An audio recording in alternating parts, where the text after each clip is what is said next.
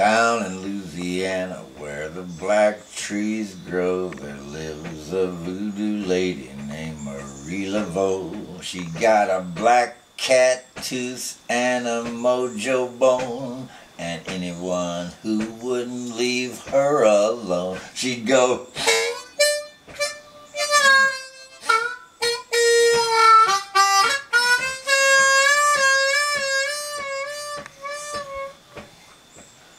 she lived by herself in a hollow log with a one-eyed snake and a three-legged dog. She got a bent, bony body and stringy hair. And if she ever catch y'all messing around there, she'll go...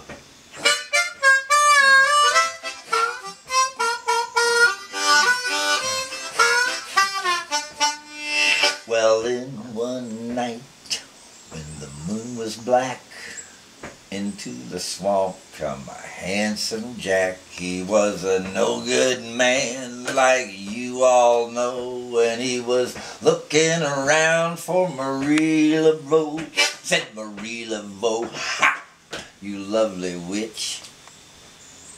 Give me a little charm that's gonna make me rich.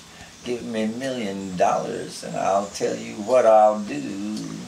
This very night I'm gonna marry you and it'll be too bad, too bad, another man done gone.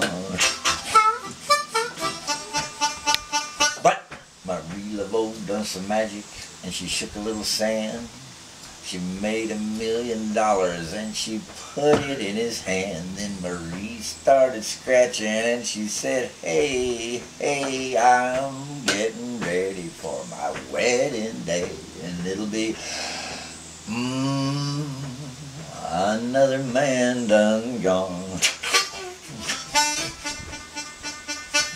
But handsome Jack, he said goodbye, Marie. Yo, too dadgum ugly for a rich man like me. But Marie started scratching, her eyes started flashing, her teeth was quaking, and her body was flashing. She went.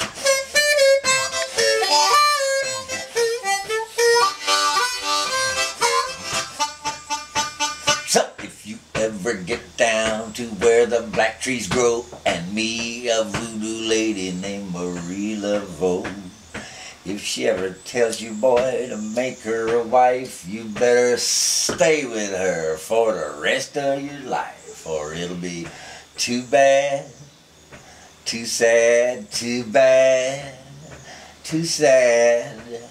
Another man done gone.